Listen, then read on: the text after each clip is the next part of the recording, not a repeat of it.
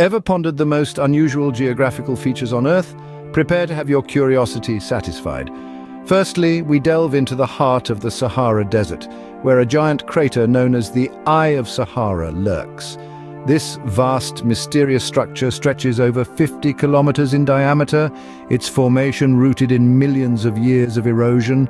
Wrapped in legend, some claim it's a portal to another dimension, while others insist it's a place of power offering knowledge and answers.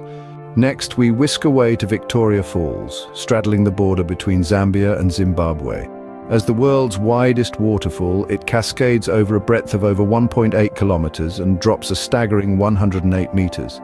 Beyond its natural splendor, it's also a bustling tourist hotspot teeming with thrilling activities.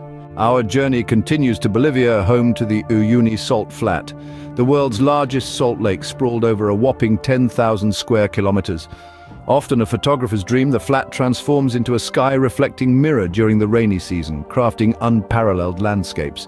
Sweeping into Peru, we encounter the enigmatic Nazca lines, geoglyphs etched into the desert over 2,000 years ago.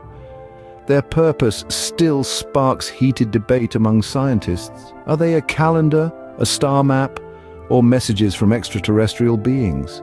Finally, we venture into the Waitomo Caves in New Zealand, renowned for their bioluminescent worms. In the cave's darkness, these worms create a mesmerizing display akin to a starry sky, making the caves a top tourist attraction. So there you have it. From the Eye of Sahara's mysteries to Victoria Falls cascades, Uyuni Salt Flats landscapes, Nazca Line's enigma and Waitomo Caves glowworm spectacle, our world teems with remarkable places beckoning exploration. Stay tuned to Fascinating Geography for more intriguing insights into our planet's wonders.